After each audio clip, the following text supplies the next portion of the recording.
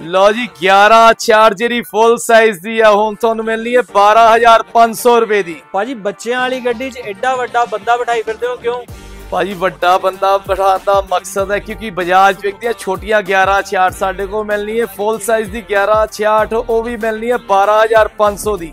ਭਾਜੀ ਜਿਹੜੀ ਮਾਰਕੀਟ 'ਚ ਵਿਕਦੀ ਹੈ 17 18000 ਦੀ 1166 ਇਹ ਉਹੀ ਤੁਸੀਂ ਦੇ ਰਹੇ ਹੋ 12500 ਬਿਲਕੁਲ ਦੀ? ਉਹੀ ਮਿਲਣੀ ਹੈ ਜੀ 12500 ਦੀ। ਜਿਹੜਾ ਸਮਾਲ ਸਾਈਜ਼ ਆਂਦਾ ਵਾ 11 66 ਦਾ ਉਹ ਮਿਲਣਾ 9500 ਦਾ। ਹੁਣ ਤੁਹਾਨੂੰ ਇੱਕ ਗੱਲ ਹੋਰ ਦੱਸ ਦਵਾਂ ਸਰਦਾਰ ਜੀ ਟੋਇਸ ਤੇ ਜੈਨੂਇਨ ਕੁਆਲਿਟੀ ਮਿਲਣੀ ਹੈ ਜੈਨੂਇਨ ਚਾਰਜਰ ਜੈਨੂਇਨ ਰੇਟ ਵੀ ਕਰਤਾ 12500 ਬਿਗ ਸਾਈਜ਼ ਦਾ। ਲਓ ਜੀ ਸਰਦਾਰ ਜੀ ਟੌਇਸ ਤੇ ਮੈਂ ਦੇਖ ਹੈ ਬਿਗ ਸਾਈਜ਼ 1166 12500 ਦੀ ਹੈ। ਸਮਾਲ ਸਾਈਜ਼ 1166 ਓਨਲੀ 9500 ਰੁਪਏ ਦੀ ਹੈ ਤੇ ਜਿਨ੍ਹਾਂ ਜਿਨ੍ਹਾਂ ਨੇ ਵੀ ਲੈਣੀ ਹੈ ਫਟਾਫਟ ਵੈਬਸਾਈਟ ਤੇ ਬੁੱਕ ਕਰ ਲਓ ਤੇ ਜੋ ਵੈਬਸਾਈਟ ਤੇ ਨਹੀਂ ਬੁੱਕ ਕਰ ਸਕਦੇ ਉਹ ਫਟਾਫਟ ਸਰਦਾਰ ਜੀ ਟੌਇਸ ਤੇ ਵਿਜ਼ਿਟ ਕਰ ਲਓ।